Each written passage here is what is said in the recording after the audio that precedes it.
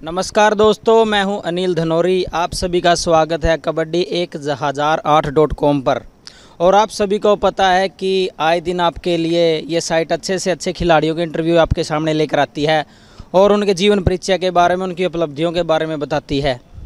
तो आप सभी के जो चहीते खिलाड़ी हमारे साथ आते रहते हैं तो ऐसे ही आज हमारे पास आपके सबके चहीते हरियाणा के स्टार खिलाड़ी जिन्होंने हरियाणा में ही नहीं पूरे भारत में विदेशों में हरियाणा का नाम अपने गाँव का नाम चमकाया है। तो हमारे साथ हैं हरियाणा के स्टार रेडर लाल बिहोली उर्फ़ रतन लाल। सभी दर्शकों का नमस्कार भैया तो रतन लाल जी हमारे दर्शक शुरू में आपसे ये जानना चाहते हैं कि आपका जीवन परिचय माता पिता के माता पिता के बारे में बताएँ और आपके अपने गाँव के बारे में बताएँ। मेरे गाँव का नाम ब्योली है डिस्ट्रिक्ट पानीपत ब्लॉक संभाल का। मेरे पिताजी का नाम जोगिंदर सिंह है और माता का नाम सुनीता देवी है। मेरा नाम रतन लाल है वैसे तो पूरा। उस नाम लाल से जानते हैं लाल ब्योली के नाम से सभी लोग। वैसे तो आपका नाम लाल ही फ़ेमस आजकल रतन लाल साथ में बोलते रहते हैं। तो आप ये बताइए हमें कि आपने शिक्षा कितनी प्राप्त की है? मैंने बीए की है अभी। अभी आपने बीए किया मतलब आप स्कूल कॉलेज टाइम में भी खेलते थे? हाँ स्कूल व कॉलेज टाइम में भी खेला हूँ मैं। आपको ये प्रेरणा कहाँ से मिली कि मुझे कबड्डी खेलना चाहिए? कहाँ से इंटरेस्ट आया आपका कबड्डी में? पहले मेरे पिताजी बहुत अच्छे प्लेयर रहे हैं कबड्डी के और उन्हीं से मुझे प्रेरणा मिली है कि कबड्डी खेलनी है। उन्होंने मेरा बहुत साथ दिया कबड्डी खेलने के लिए। हमेशा वे शुरू से ही मेरे प्रैक्टिस कराने लगे थे कबड्डी के लिए मेरी। जहाँ तक पता चला है हमें कि आपके गाँव की टीम भी नहीं थी। फिर भी आपने हरियाणा के और विदेशों में ऐसा नाम कमाया है? इसके पीछे क्या राज है? मेरे गाँव की टीम शुरू से ही नहीं थी। पहले मेरे पिताजी खेलते थे तब टीम थी फिर भी टीम ख़त्म हो गई। उस मैं गढ़ी छाजू की टीम से शुरुआत की मैंने खेलने की। मैंने वेट की टूर्नामेंट कभी नहीं खेली। मैंने सीधी ओपन की टूर्नामेंटों में ही भाग लिया पार्टिसिपेट किया। तो आप सीधा डायरेक्ट ओपन में ही आए खिल अपने कबड्डी के इस गेम में? तो हम आपसे ये पूछना चाहते हैं कि जब आपने स्टार्टिंग की तो ओपन से की थी, आपको याद है कि आपको पहला बेस्ट रेडर का खिताब कब और कहाँ पे मिला?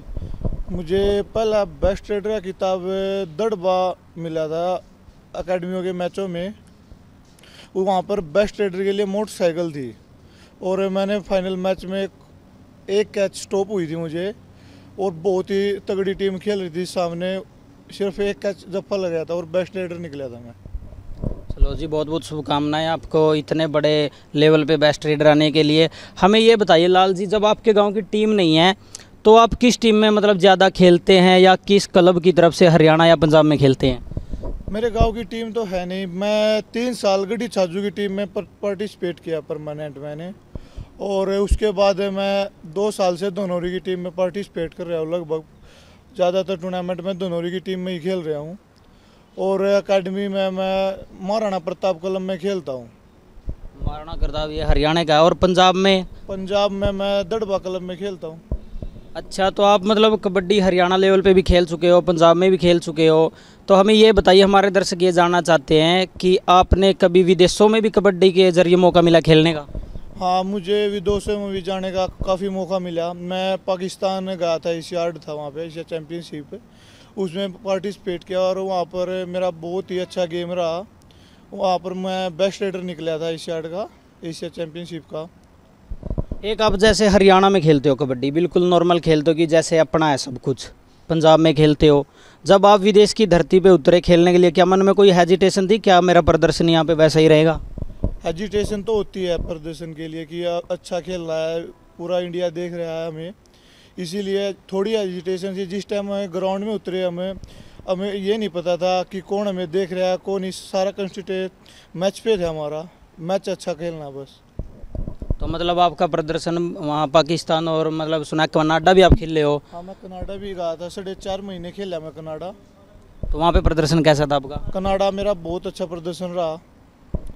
तो आप ये बताइए, जो कनाडा की लीग या गेम थे, वहाँ की लीग और खेलों में हरियाणा पंजाब की लीग के खेलों में क्या फ़र्क लगा आपको?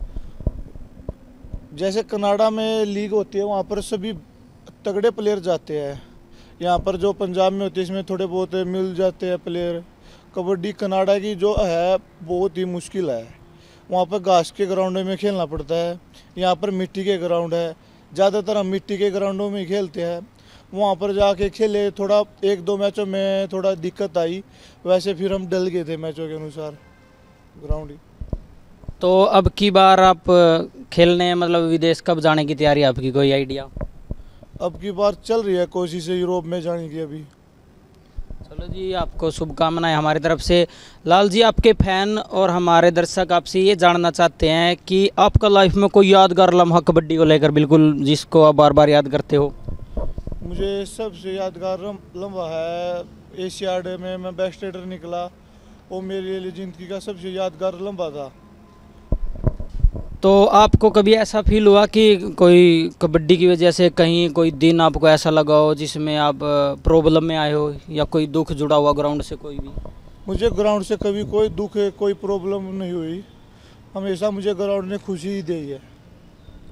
तो आप बताना चाहेंगे इस गेम के लिए आपको किसने सपोर्ट किया अच्छे से बिल्कुल? इस गेम के लिए सबसे ज़्यादा सपोर्ट मेरे माता पिता का रहा है। उन्होंने मुझे कभी खेलने से मना नहीं किया। हमेशा साथ दिया मेरा खेलने में। तो जैसे हर किसी का कोई ना कोई आइडल होता है। आप हमें ये बताइए कि आपका बेस्ट प्लेयर कौन है एज ए रेडर और एज ए स्टॉपर सबसे मेरा बेस्ट स्टॉपर था विजेंद्र गढ़ी छाजू मैं का उसने ही मुझे थोड़ा गेम सिखा गढ़ी छाजू में खेलता था वही प्रेरणा देता रहा मुझे गेम की। और मतलब एज ए रेडर आप किसको पसंद करते हो?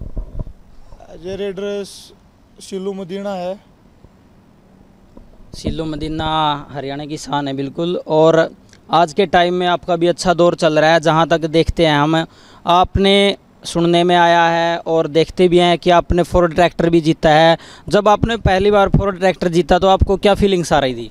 जब मैंने पहली बार फोर ट्रैक्टर जीता मुझे बहुत ही खुशी हुई और बहुत दिल खुश हुआ कि आज मैं ऐसा पहला रेडर बना हूँ कि हरियाणा का जिसने पंजाब में फोर ट्रैक्टर जीता है। और इसके साथ ही सुनने में आया था देखने में आया था कि आपने बहुत सारी बाइक भी जीती हैं। और फोर्ड के अलावा आपने जीप भी जीती है। तो गाँव में क्या माहौल होता है जब आप इतनी बड़ी बड़ी उपलब्धियाँ करते हैं? जब मैं इतनी उपलब्धियाँ करता हूँ मेरे गाँव में खुशी का माहौल होता है। मेरे गाँव मुझे एक दर्शक है या गाँव के लोग वे सभी लोग मुझे बहुत ज़्यादा प्यार करते हैं। चलो जी ये तो बहुत अच्छी बात होती है कि एक प्लेयर को उसका गाँव सपोर्ट करे तभी वो बुलंदियों को छूता है। माता पिता के साथ साथ गाँव का भी बड़ा सहारा होता है। हमें तो लाल जी एक प्रश्न और आपसे आप कोई आइडिया बता सकते हैं कि आप आज तक कितनी बार तक बेस्ट रह चुके होंगे? लगभग पचास से ऊपर ऊपर मैं बेस्ट निकल चुका हूँ पाँच सालों में। पचास से ऊपर ही है कम नहीं है। मतलब क्या क्या जीतता है? जैसे इनका पता है हमारे दर्शक जानना चाहते हैं आपने फोर ट्रैक्टर भी जीता है जीप भी जीती है बाइक भी और इसके अलावा क्या क्या ऐसी चीज़ें जीती हैं आपने? जैसे इनाम ग्यारह हज़ार प्राइज होते थे, मोटरसाइकिल होती थी, ट्रैक्टर भी जीता मैंने, जीप जीती और बाइक से पंद्रह, बीस के बीच में मैंने बाइक जीती हुई है। चलो जी, आपकी ये तरक्की ऐसे ही चलती रहे। हम तो भगवान से दुआ करते हैं, आप हमेशा फिट रहें और हरियाणा का नाम, अपने माँ बाप पिता का नाम, अपने गाँव का नाम ऐसे ही रोशन करते रहें। हमें आप ये बताइए, जैसे इस सीज़न में आपने बिल्कुल नॉन स्टॉप रेड लगाई है, अगले सीज़न के बारे में आपकी कैसी तैयारी है, क्या चल रहा है? अगले सीज़न के लिए भी हम जोरदार प्रैक्टिस कर रहे हैं कि अच्छा खेले। जो हमारे फ़ैन है, वो हमें देख, यही देखते हैं कि इन्हें कैच ना लगे और ये अच्छा खेले। हम भी कोशिश करेंगे कि उनका दिल ना दुखे। हम अच्छा खेलने का प्रयत्न करेंगे। और आप हमें बताइए कि यूथ को, जो आपको फॉलो करते हैं, जो नए बच्चे कबड्डी खेल रहे हैं कि मुझे भी लाल की तरह रेडर बनना है फ़ेमस होना है तो आप हमें ये बताइए, उन यूथ के लिए आप क्या प्रेरणा देंगे क्या बताएँगे क्या मैसेज है हमारे हरियाणा और सभी यूथ के लिए आपका? यूथ के लिए यही है जो बच्चा प्रैक्टिस करेगा वही आगे निकलेगा। इसमें कोई आलिया जो प्रैक्टिस करता है वही बुलंदियों को छूता है। बिना प्रैक्टिस तो कुछ भी नहीं है। तो प्यारे दोस्तों देखा लाल जी बता रहे हैं कि प्रैक्टिस ही सब कुछ है और सभी के लिए प्रेरणा का स्रोत बन रहे हैं। आज हरियाणा में नहीं हर जगह इनका नाम है। तो लाल जी हम आपसे एक बात पूछना चाहते हैं। कि जो कबड्डी एक हज़ार डॉट कॉम है, एक हज़ार आठ डॉट कॉम वाले भाई हैं, हम सबने अच्छे लेवल पे लाइव किया अब की बार पूरे दिल से। और इंटरव्यू आप लोगों के चल रहे हैं तो आप इसके लिए आप क्या कहना चाहेंगे कि कबड्डी एक हज़ार आठ डॉट कॉम का क्या सिस्टम कहाँ तक जा सकता है? इससे कबड्डी को कुछ फ़ायदा होगा? इससे एक हज़ार डो, एक हज़ार आठ डॉट कॉम से बहुत ही फ़ायदा होगा कबड्डी को, क्योंकि ये लाइव दिखा रहा है मैचों को। इससे छोटे बच्चे हैं वो लाइव देखते हैं मैचों को। इससे प्रेरणा मिल रही है। हम भी अपने दोबारा देख सकते हैं मैच को या दो अपनी जो मैच हो रही है उनको दोबारा देखा जा सकता है लाइव यूट्यूब पे लाइव डॉट कॉम पर एक हज़ार आठ डॉट कॉम पर।